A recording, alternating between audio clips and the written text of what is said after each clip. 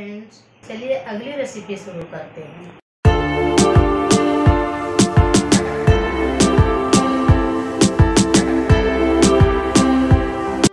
देखिए कितनी अच्छी सब्ज़ी बनी है। और इस तरह से बनाइए। देखिए कलरफुल है।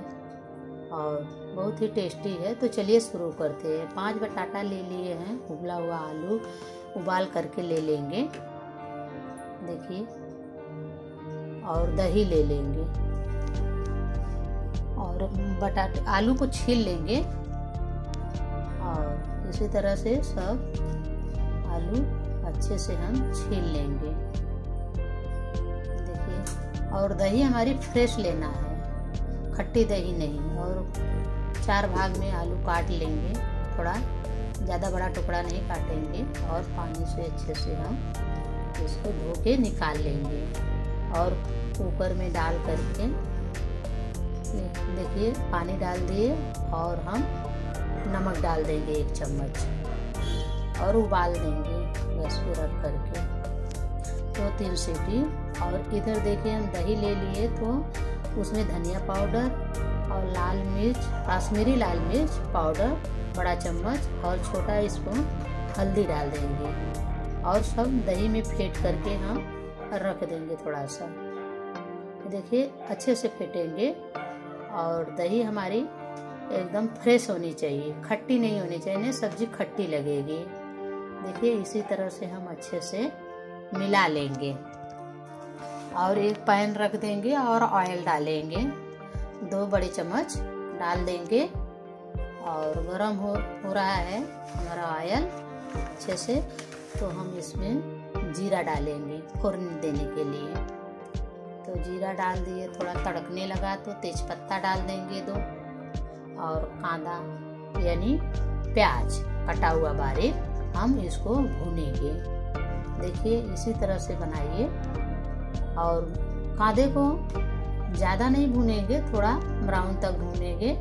और अदरक लहसुन का पेस्ट डालेंगे। अगर अदरक लहसुन पेस्ट अदरक लहसुन खा रहे हैं तो डालिए, नहीं खा रहे हैं तो स्किप कर दीजिए। और देखिए अभी इस तरह हो गया तो हम डालेंगे अपना दही मसाला जो फेंट करके रखे हैं। अब इसको भी हम अच्छे से फ्राई करेंगे। देखिए इसको हिलाते रहेंगे। अच्छे से भून लेंगे। देखिए इसी तरह से भून लीजिए और गर्म हो गया। भून करके अच्छे से तो हम कटा हुआ दो मिर्च और धनिया की पत्ती थोड़ा डाल करके इसको भी भून लेंगे। ऊपर से डालेंगे। और उबला हुआ, देखिए, अभी ना इसमें गरम मसाला थोड़ा डाल देंगे। इसी तरह से हम भून लेंगे। अभी उबला हुआ बटाटा छोड़ेंगे। देखिए, इसको भी थोड़ा सा भून लेंगे। इसी तरह से बनाइए। और जो नए लोग हैं सब्सक्राइब नहीं किए हैं तो सब्सक्राइब कर लीजिए। और देखिए, इसी तरह से हम मिक्स कर देंगे। बटाटा हमारा पका है तो हम ज़्यादा पकाने की ज़रूरत नहीं है। स्वाद अनुसार हम नमक डालेंगे और पानी छोड़ेंगे। पानी देखिए, इसी तरह से ज़्यादा नहीं मिलाएँगे, क्योंकि हमारी भाजी वैसे ही पकी है सब। और मसाला भी पक गए हैं तो हम सर्व करते हैं, पक्के हो गया। तो देखिए, इसी तरह से सर्व करते हैं, इसी तरह से बनाइए। हमारी वीडियो अच्छी लगी तो लाइक कर दीजिए, सब्सक्राइब कर दीजिए। और देखिए, बहुत ही टेस्टी है।